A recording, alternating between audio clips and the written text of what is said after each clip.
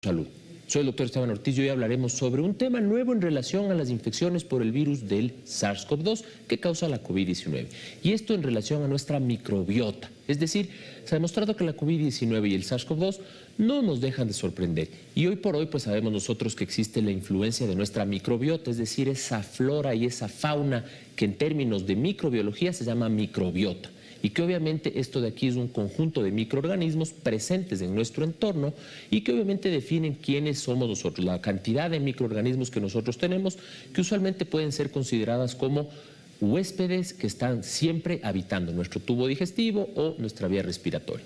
Vean ustedes que obviamente los seres humanos proporcionamos diversos beneficios de esta relación con esta microbiota. Nos sirve, por ejemplo, desde el punto de vista inmunológico o nos sirve inclusive para la conducta, el sueño y obviamente para nuestra digestión. Es decir, vean ustedes todo lo que se habla de los lactobacillus y demás microbiota que ayudan a la digestión.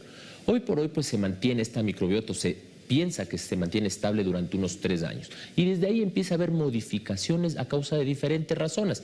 Cambio de dieta, me fui a otro país, cambié de entorno, ya no tengo la misma alimentación y demás. Algunos investigadores, obviamente, alrededor del planeta han descubierto que existen procesos relacionados a esta microbiota con la COVID-19. Es decir, debido a una infección por el virus del SARS-CoV-2, pues la microbiota se afecta. Esto se publicó en la revista Nature, una de las más prestigiosas del planeta. Ellos han demostrado que un total de 90 96 participantes que tuvieron infección por SARS-CoV-2 tenían una capacidad de producir una disbiosis de nuestra microbiota, es decir, una alteración en la composición o en la función de esos microorganismos que usualmente tienen una función buena y que obviamente se cambia debido al SARS-CoV-2. Esta microbiota intestinal obviamente nos sirve en general, pero si es que a mí me dio COVID y me dio una infección por el SARS-CoV-2, esa microbiota puede afectarse y ya no cumple la misma función. Entonces, pues ahí vienen las características a largo plazo. Empiezo a tener dificultad para absorber la comida y molestias distintas desde todo punto de vista.